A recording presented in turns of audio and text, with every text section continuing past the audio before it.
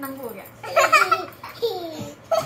पापा जल्दी कीजिए अभी मैं रोना शुरू हाँ वीडियो बन रहा है। अच्छा।